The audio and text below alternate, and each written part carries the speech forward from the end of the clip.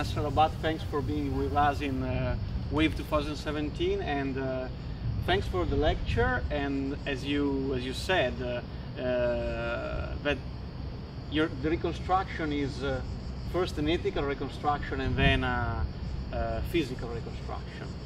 So the question will be what's the first step in this ethical reconstruction? If it is only one thing, what uh, will be the beginning of this reconstruction? Well, I mean, the easiest one is actually education to people who are going to be repatriated and then sort of like resettled in some place.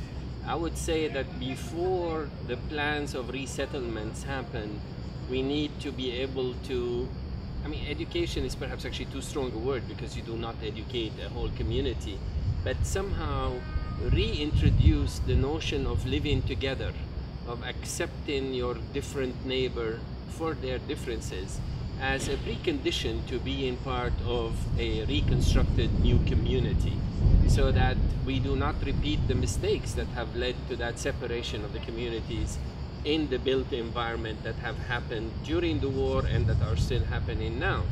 And so I, I, would say perhaps any project of reconstruction, physical reconstruction, should have as a as a first component what we used to have always in urban planning, namely to involve the community. But here you involve the community in some sort of a seminar that would teach the community about the value of living together. Thank you. Thank you very much.